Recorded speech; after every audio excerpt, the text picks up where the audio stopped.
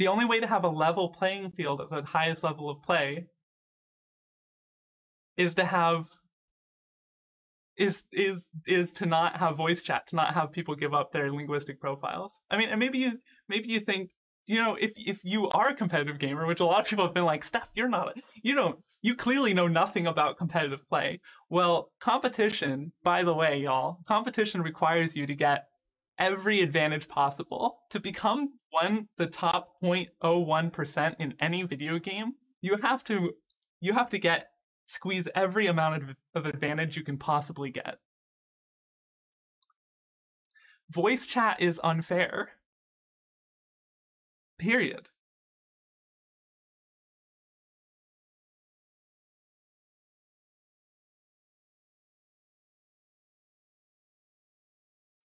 Can we at least, some of the people have been with me for a while, can we at least say that the people saying just don't use voice chat or just mute are are like being really dumb about this? Can we can we at least can we at least agree on that? Like everyone, some of you have more nuance, but please tell me.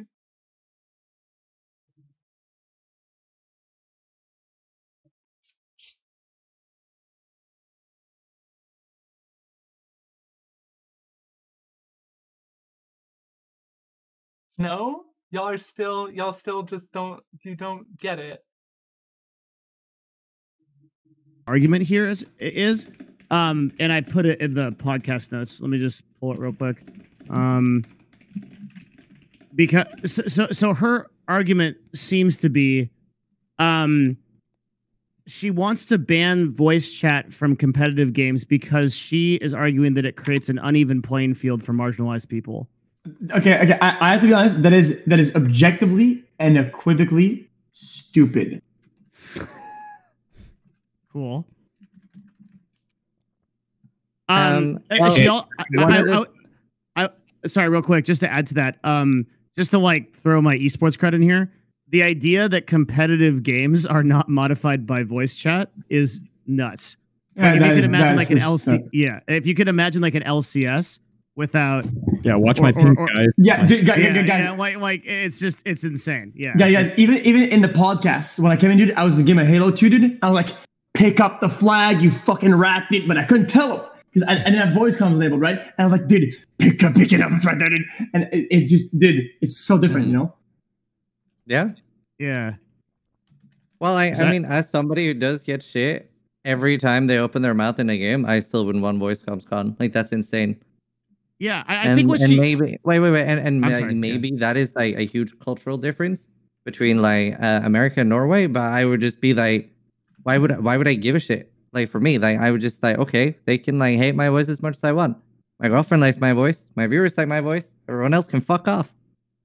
And, but, I- and you I- want to win the game, right? That's Yeah, most- I want to. I want to win the game. you wanna win the wanna- game, that's good, I want to yell at my teammates like, "Stop running down mid and feeding, you idiot!"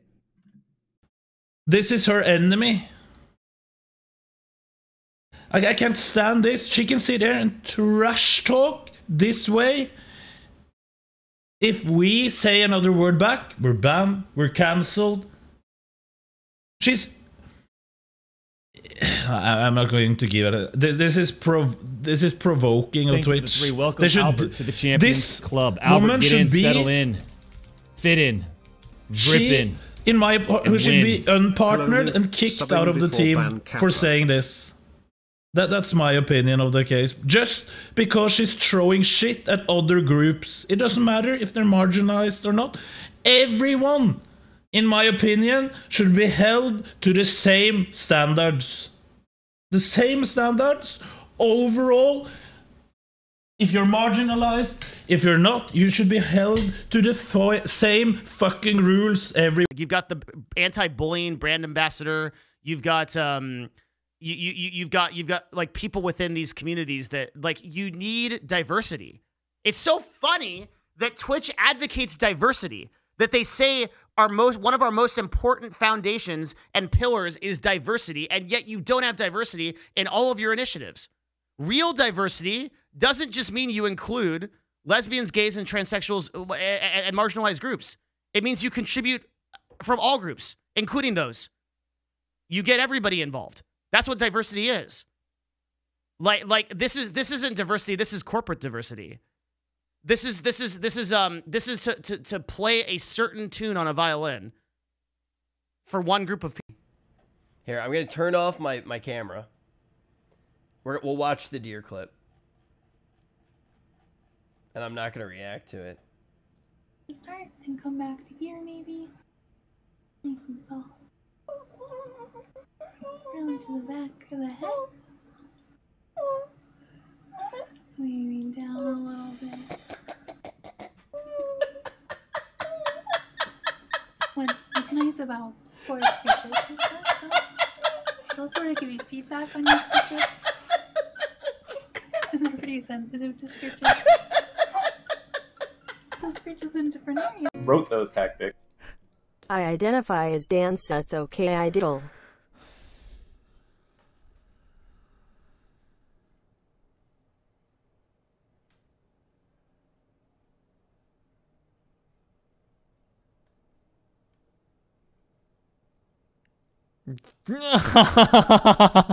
I can't.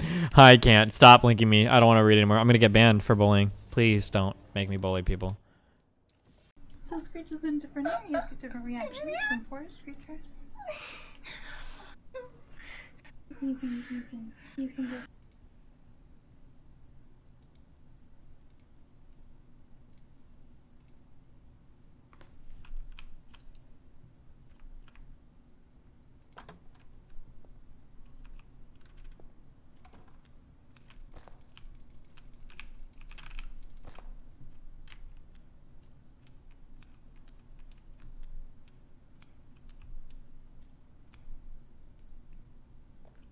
Now, there are all kinds of weird interpretations you can have for this. And I, I don't think it's fair for me to really make any of them unless, um, you know, unless I've talked to the person. But people identify as different things. Like that's just part of psychology. Like people like identify as different things, and they can have all kinds of reasons to identify as different things. And we don't understand exactly what's going on with this person until we ask her, like, you know, what makes you feel like you're a deer? And I would love to ask that question you know, how long have you been a deer? Were you born a deer? Like, what do you think you're in this body? Like, I would love to ask that question. And I have worked with people who who have had identities of like animals before. I've also worked with people who, yeah, and like it's, you know, it's like so you just talk to them and you try to figure out like where this comes